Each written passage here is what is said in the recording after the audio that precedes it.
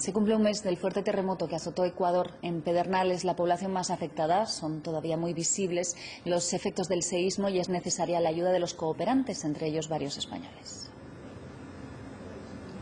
Carpas dispuestas en cada solar recuerdan en Pedernales donde había una casa o un negocio. Ahí vivía yo, aquí mi suegra y allá mi cuñada.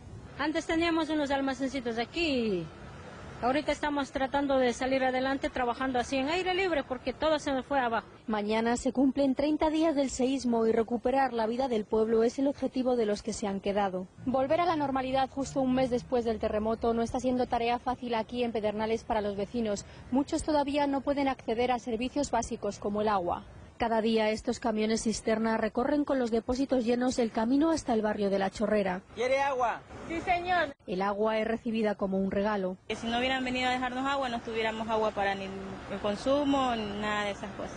Son 150.000 litros diarios los que la cooperación española distribuye entre las 8.000 personas que viven en los albergues. Hay un suministro muy básico de supervivencia de agua que tenemos que ir mejorando en cantidad y calidad para que el agua no se convierta en un foco de transmisión de enfermedades. Los más pequeños no saben qué ha pasado, mientras sus madres esperan que un futuro esperanzador limpie como el agua el horror que se ha vivido en Pedernales.